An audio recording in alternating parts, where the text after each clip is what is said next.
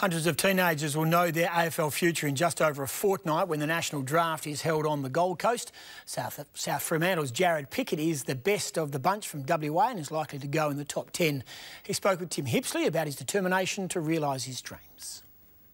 For a footballer wanting to make it in the AFL, Jarrod Pickett is doing all the right things. I just needed to work on my skin folds and um, didn't really know like sort of the professional side of of like the AFL. A year ago, he sought the advice from a nutritionist, and it's paying dividends. It's got to be a healthy lifestyle from now on, I think. Yeah. At last month's draft combine, he was second in the 20 metre sprint, clocking just 2.87 seconds, and was also top four in the agility test. With records like that, he won't need to fall back on a career in the kitchen. Here it is.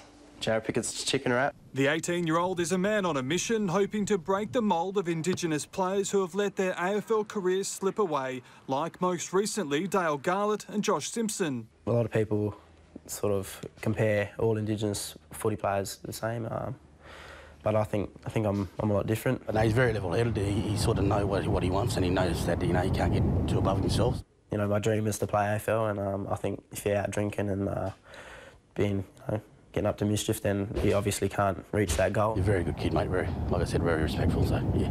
An eye-catching year has seen Pickett represent WA at the state 18s. And they've got crumbers, and they've got speed, and they've got Pickett, and they've got three goals in a row and also play five league games for South Fremantle. He's been touted as a top 10 pick at the national draft later this month.